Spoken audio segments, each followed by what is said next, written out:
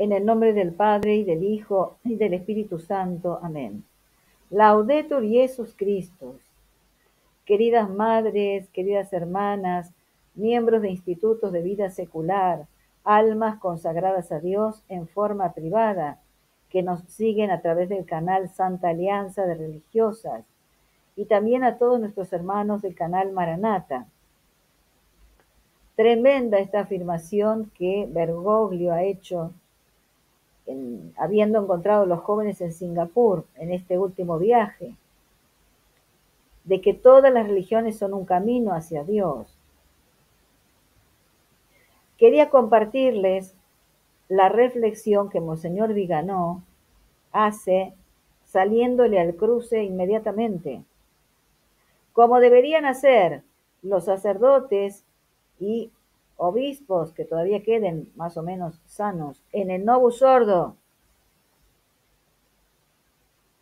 en vez de callarse y seguir haciendo lo suyo como si no sucediera nada. Va a decir Monseñor Viganó, tomando el versículo 6 del capítulo 14 del Evangelio según San Juan, Yo soy el camino, la verdad y la vida, nadie va al Padre sino por mí. Con sus impías declaraciones dirigidas a los jóvenes de Singapur, dice Vigano, de que todas las religiones son un camino hacia Dios, Bergoglio ofende la majestad de Dios, traiciona la revelación divina, pisotea los principales misterios de nuestra fe y aniquila el sacrificio redentor del Hijo de Dios, nuestro Señor Jesucristo. Fíjense. Todo esto hace Bergoglio, ya en una carrera sin freno, a lo más profundo del Averno. Bergoglio, dice Monseñor Viganó, ofende la majestad de Dios, traiciona la revelación divina, pisotea los principales misterios de nuestra fe y aniquila el sacrificio redentor del Hijo de Dios, nuestro Señor Jesucristo.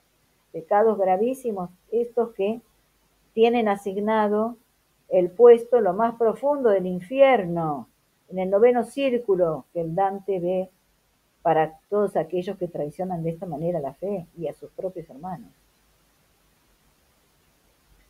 Sigue diciendo Monseñor Viganó, sus palabras mentirosas son particularmente insidiosas porque se dirigen a las nuevas generaciones, a las que Bergoglio engaña, haciéndolos creer que es posible salvarse sin reconocer que Jesucristo es el Hijo de Dios, el único Salvador, y que su iglesia es la única arca de salvación.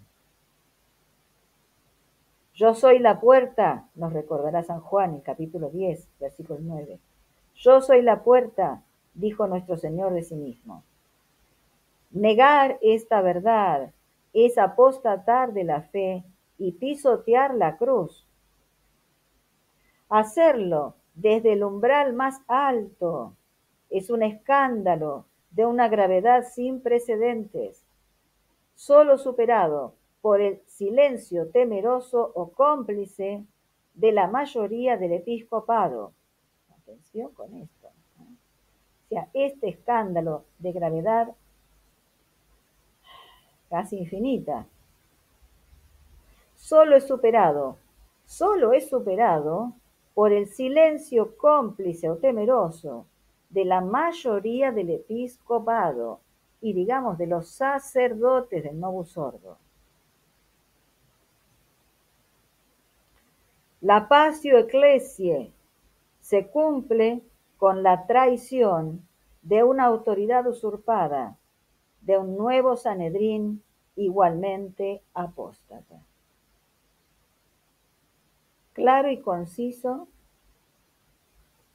y exacto estas palabras, este comentario de Monseñor Viganó, que lo ha hecho en el blog de Marco Tosati, bajo el título Bergoglio Todas las religiones son un camino para llegar a Dios.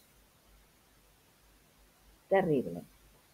Queridos hermanos, roguemos al Señor perseverar en la fe, ayudar a nuestros hermanos que no ven, seamos instrumentos que el Señor pueda utilizar para llegar a las almas. Pidamos para que venga pronto, porque realmente es abrumador esta, este último, em, e, es abrumadora esta última fase de la apostasía general. En el nombre del Padre y del Hijo y del Espíritu Santo. Amén.